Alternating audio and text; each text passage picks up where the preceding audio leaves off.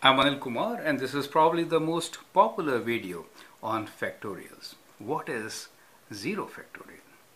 Well, the question which I have phrased here is like prove that 0 factorial is equal to 1. So, you know, 0 factorial is equal to 1 or you could also say 0 factorial is equal to 1 factorial. Now the question is how to prove it? There's a very simple method of proving this. You know, n factorial by definition is what? n factorial is n times n minus 1 factorial. Do you see that?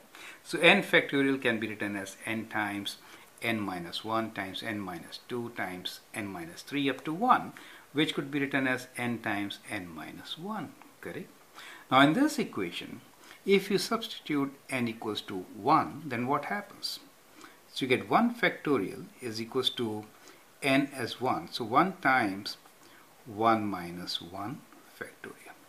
Now you get 1 factorial equals to 1 times 1 minus 1 is 0, right? So you get 0 factorial.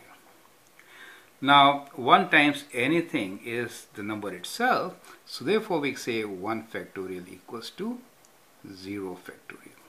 And I know what 1 factorial is, which is 1.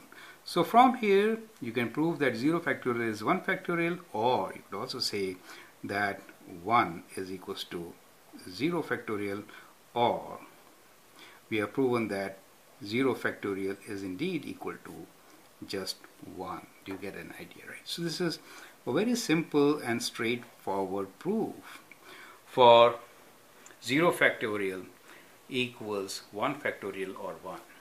I hope that helps. Thank you.